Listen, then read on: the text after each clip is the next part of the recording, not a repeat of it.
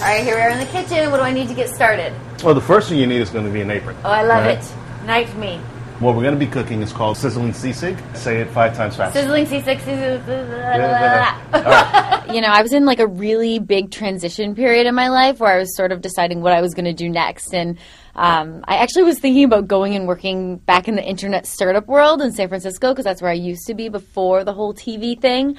Um, and then I got a call from First Look and they said, you know, we heard you're sort of couch surfing right now, which is exactly what I was doing. And we think, you know, given where you, where you are, will you be perfect for our show to sort of travel around the country with us? And I'm like, I'm, I'm down. So I went and interviewed, and here I am.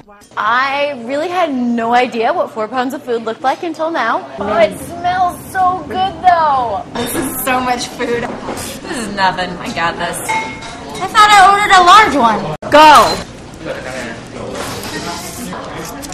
So lovely. I mean, I cannot say enough enough nice things about her.